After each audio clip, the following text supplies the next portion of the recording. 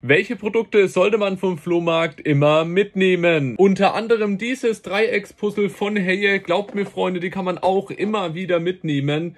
Das da hier heißt Summertime und bringt bei eBay so circa 20 Euro. Und da frage ich mich,